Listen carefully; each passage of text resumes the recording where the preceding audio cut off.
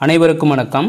சங்ககால கல்வெட்டும் என் நினைவுகளும் என்கிற பாடத்தினுடைய இரண்டாவது பதிவு இது. கடந்த பதிவில் ஐராவத மகாதேவன் ஆறு நாட்டான் குன்று மலை வரை செல்வதை பார்த்தோம். இந்த பதிவில் அங்கு அவர் எவ்வாறு படியெடுக்கிறார் என்பதை பற்றி பார்க்க போகிறோம் ஐராவத மகாதேவன் எந்த ஊருக்கு போனாலும் அந்த ஊர் பற்றிய தொல்லியல் குறிப்புகளை தம் கையோடு எடுத்துக்கிட்டு போவார். அது மட்டும் இல்லாமல் உடன் ஒரு நோட்டு புத்தகத்தையும் எடுத்துகிட்டு போவார்.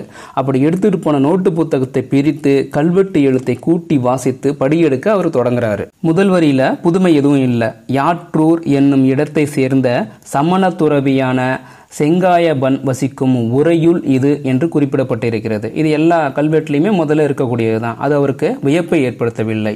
அடுத்த வரிக்கு போகிறாரு இரண்டாவது வரியில் முத சொல்லு கோ. இந்த சொல்லை பார்த்த உடனேயே அவர் உள்ள மகிழ்ச்சியில் துள்ள ஆரம்பிக்கிறது. சங்ககால தமிழ் மன்னரின் கல்வெட்டு தான் இது என்பதை அது உறுதிப்படுத்துவதாக இருந்தது. அவருக்கு என்ன செய்யறதுனே தெரியல. ஒரு பெரிய வரலாற்றை கண்டுபிடித்து விட்ட பெருமிதம் அவருக்குள்ள பொங்கி எழ ஆரம்பித்தது. கோ ஆதன் செல்லிரும் பொறை மகன் என்ற சொற்களை படித்தவுடன் எனக்கு ஏற்பட்ட வியப்பையும் மகிழ்ச்சியையும் சொல்லி மாளாது என்று குறிப்பிடுகிறார்.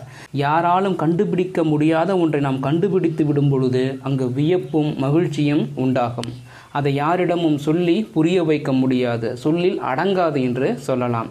என்றாலும் தமிழிலும் வரலாற்று துறையிலும் ஈடுபாடு உள்ள அன்பர்களுக்கு எனக்கு ஏற்பட்ட உணர்ச்சி வெள்ளத்தை விளக்க அவசியமில்லை என்று நினைக்கிறேன் என்று அவர் குறிப்பிடுகிறார். ஆராய்ச்சி துறையில் இருப்பவர்கள் என்றாவது ஒரு நாள் அவர்களே வியக்கும்படியான ஒன்றை கண்டுபிடித்து இருப்பார்கள் மகிழ்ந்து இருப்பார்கள் அந்த மகிழ்ச்சியும் வியப்பும் அவர்களுக்கு ஏற்கனவே அனுபவமாக இருக்கும் என்பதால் அதை நான் சொல்லி விளக்க வேண்டியதில்லை என்று குறிப்பிடுகிறார். பெருங்கடுங்கோன் இளங்கடுங்கோ இளங்கோ என்ற பெயர்களை படித்த பொழுது என் கண்களையே என்னால் நம்ப முடியவில்லை என்று குறிப்பிடுகிறார். சங்க நூல்களில் மட்டுமே இதுவரை காணப்பட்ட பண்டைய தமிழ் மன்னர்களின் பெயர்களை தமிழகத்தில் முதன்முறையாக ஒரு கல்வெட்டில் கண்டுவிட்ட ஆனந்தத்தில் நோட்டு புத்தகத்தை தலைக்கு மேல் தூக்கி பிடித்து கொண்டு கூத்தாடுகிறார். அவருடன் வந்தவர்கள் அவரை ஒரு மாதிரியாக பார்க்க தொடங்குகிறார்கள். அவரை மகிழ்ச்சி வெள்ளத்தில் ஆழ்த்திய கல்வெட்டின் முழு வாசகம் இது இதுதான் அம்மன்னன் யாற்றூர் செங்காயபன் உரை கோ ஆதன் செல்லிரும்பொறை மகன் பெருங்கடுங்கோன் மகன் இளங்கடுங்கோ இளங்கோ ஆக அறுத்தக்கல் என்பதுதான் முழு வாசகம் ஆகும் இது கருவூரிலிருந்து ஆட்சி செய்த சேரல் இரும்பொறை மன்னர்கள் பொறித்தது. பதிற்றுப்பத்திலும் ஏனைய சில சங்க நூல்களிலும் பாடப்பெற்ற பழந்தமிழ் மன்னர்கள் இவர்கள். இக்கல்வெட்டு ஏறத்தாழ கிபி இரண்டாம் நூற்றாண்டை சார்ந்தது. இச்செய்திகள் மட்டும் எனக்கு அப்பொழுது விளக்கமாக தெரிந்தன என்று குறிப்பிடுகிறார். அதற்குள் இருட்டி விட்டதால் மற்ற கல்வெட்டுகளை இன்னொரு முறை பார்த்து கொள்ளலாம் என்று இறங்கி கருவூருக்கு திரும்புகிறார்கள். அதற்கு பிறகு ஐராவத மகாதேவன் சென்னைக்கு வராரு. சென்னைக்கு வந்ததும் வரலாற்று பேராசிரியர் திரு நீலகண்ட சாஸ்திரி அவர்களின் வீட்டுக்கு சென்று அவர் படியெடுத்ததை அவரிடம் காட்டுகிறார். அப்பொழுது அவர் ஐராவத மகாதேவன் கிட்ட கேட்கிறாரு கையால் தானே எழுதியிருக்கிறீர்கள்? ஒழுங்காக படியெடுத்தீர்களா? என்று கேட்கிறார். இந்த மாதிரி யாராவது நம்ம கிட்ட கேட்டாங்கன்னா நம்ம என்ன நினைப்போம்னா நம்ம மேல உள்ள பொறாமையில தான் அவங்க இவ்வாறு கேட்குறாங்க அப்படின்னு நம்ம நினைப்போம். ஆனால் ஐராவத மகாதேவன் பின்வருமாறு பதிவு செய்கிறார். ஆராய்ச்சி முறைகளில் திரு நீலகண்ட சாஸ்திரிக்கு இருந்த அழுத்தத்தையும் உண்மை பற்றையும் படிப்பினையாக நான் ஏற்றுக்கொண்டேன் என்று குறிப்பிடுகிறார்.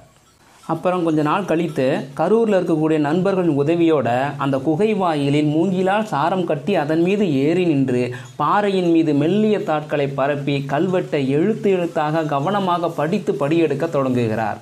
அதற்கு பிறகு கரூருக்கு செல்லும் ஒவ்வொரு முறையும் புகழூருக்கு தலையாத்திரை மாதிரி போக ஆரம்பிக்கிறார்.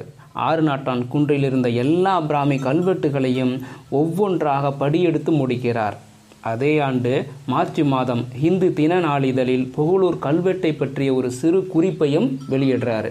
அதுக்கப்புறம் ஐராவத மகாதேவன் அவருடைய ஆராய்ச்சி குறிப்புகளை எடுத்துக்கொண்டு கோவையில் அப்பொழுது வசித்து வந்த திரு கே வி சுப்பிரமணியனார் அவர்களை காண போகிறாரு அவர்தான் தமிழ்நாட்டில் உள்ள பிராமி கல்வெட்டுகளின் ஆராய்ச்சிக்கு அடிக்கோலியவர் இக்கல்வெட்டுகளில் தமிழுக்கே உரிய எழுத்துக்களான ழ ல ர ந ஆகியவை வருவதை முதன் முதலாக சுட்டிக்காட்டி இக்கல்வெட்டுகள் பிராகிருத மொழியில் ஆனவை என்ற தவறான கருத்தை மறுத்து இவை தமிழில்தான் எழுதப்பட்டவை என்று நிறுவிய சீரிய ஆராய்ச்சியாளர் யாருன்னு கேட்டிங்கன்னா இந்த கேவி சுப்பிரமணியனா. வயது மிகவும் முதிர்ந்து உடல் தளர்ந்து கண் பார்வை சரியாக இல்லாத நிலையிலும் புகழூர் கல்வெட்டை பற்றிய செய்திகளை தின நாளிதழ்களில் படிக்க கேட்டு தெரிந்து வைத்து கொண்டிருந்தார். ஐராவத மகாதேவன் அவர் முன் அமர்ந்தவுடன் சேரல் இரும்புரை மன்னர்களின் கல்வெட்டை பற்றி எழுதியவர் நீங்கள்தானா? என்று கேட்டார் கேட்கிறார். ஐராவத மகாதேவன் ஆம் என்றவுடன் தன் கை விரல்களால் அவருடைய முகத்தை தடவி பார்க்கிறார். அப்பொழுது அவருடைய கண்களிலிருந்து கண்ணீர் பெருகுகிறது. நீங்கள் கொடுத்து வைத்தவர் என்று ஆசி கூறுகிறார். அந்த பெரியவரின் கல்வி பற்றையும் தூய உள்ளத்தையும் அன்பையும் நினைத்து நினைத்து என் உள்ளம் உருகுகிறது என்று ஐராவத மகாதேவன் குறிப்பிடுகிறார். ஐராவத மகாதேவன் எழுதிய கட்டுரை கல்வெட்டு இதழில் வெளிவந்தது. இவர் இந்திய ஆட்சிப்பணி அலுவலராக இருந்து தொல்லியலிலும் எழுத்தியலிலும் கொண்ட ஆர்வத்தால் விருப்ப ஓய்வு பெற்றார். தனக்கு மிகவும் விருப்பமான கல்வெட்டு ஆய்வில் முப்பது ஆண்டுகள் ஈடுபட்டார். சிந்துவெளி எழுத்துருவை ஆய்ந்து திராவிட எழுத்து என்று அவர் கண்ட முடிவு வரலாற்றில் திருப்பத்தை ஏற்படுத்தியது. அவருடைய ஆய்வுகள் ஐந்திற்கும் மேற்பட்ட நூல்களாகவும் கட்டுரைகளாகவும் வெளியிடப்பட்டுள்ளன. ஆய்வுக்காக ஜவஹர்லால் நேரு ஆய்வறிஞர் விருது இந்திய வரலாற்று ஆராய்ச்சி மைய விருது தாமரை திரு விருது ஆகிய விருதுகளை பெற்றுள்ளார்.